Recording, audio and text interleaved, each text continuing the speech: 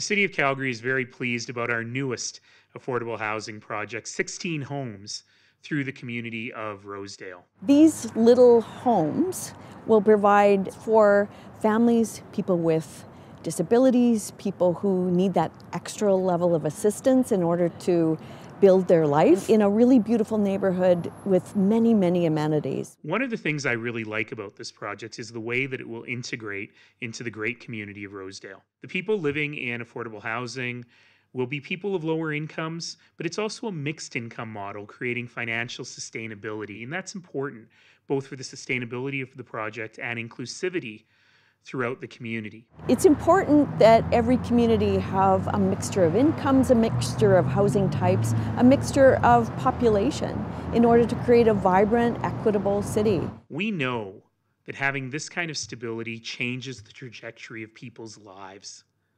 It makes it easier for the kids to succeed in school. It makes it easier for people to retrain and to get better jobs. Ultimately, all of that comes from the stability and dignity of having a decent place to live.